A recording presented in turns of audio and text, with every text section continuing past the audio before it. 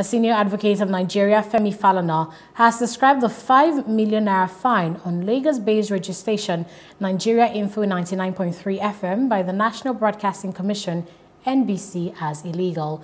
The human rights lawyer said this in a statement he personally signed and wondered why the NBC will be in a hurry to penalize the radio station, while noting that the State Security Service, SSS, has not concluded an investigation into the radio station's guest, Dr. Mailafia Obadiah. Falana asked why the commission was in a hurry to violate the broadcast firm's fundamental right.